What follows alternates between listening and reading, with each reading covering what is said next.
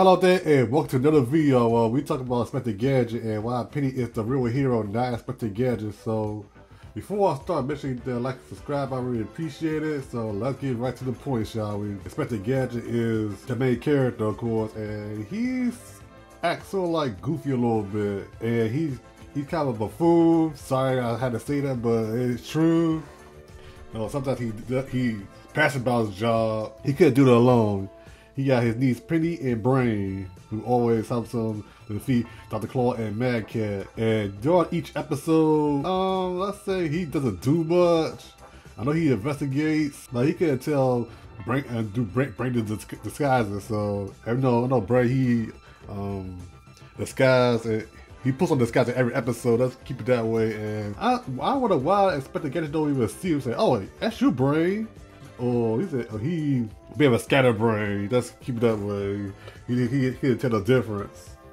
But I know the the the recent one, Petey was um, a, a, major character, but unfortunately, I ain't watched the the the, the, the recent one. You know, I guess it's a reboot or something. Uh, that just mean I know there's a lot of spin-offs such as Gadget, uh, Gadget, but I would say it's sort of like especially Gadget and Gadget the Gadgetinis. Ugh. Didn't like that one. And, and, and, the movie, the live action one, which is not very, I ain't like it. But anyways, I know there's a, a, a video out there about uh, uh, with Penny, I guess the starter critic uh, did, did, did it. It, it showed that video and talk about Penny it, um, is the real hero. She does all the work but Gadget didn't. Why? Why would he? Why would he still work at the Inspector and he doesn't do his job? Well, one episode he did get replaced by a computer. It's foreshadow of AI, of course.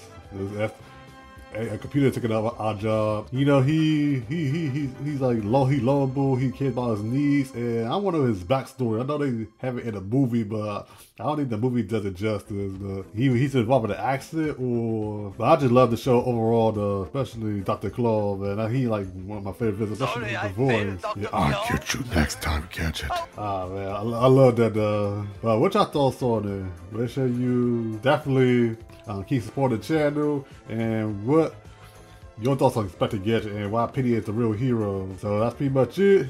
Thanks for watching and goodbye.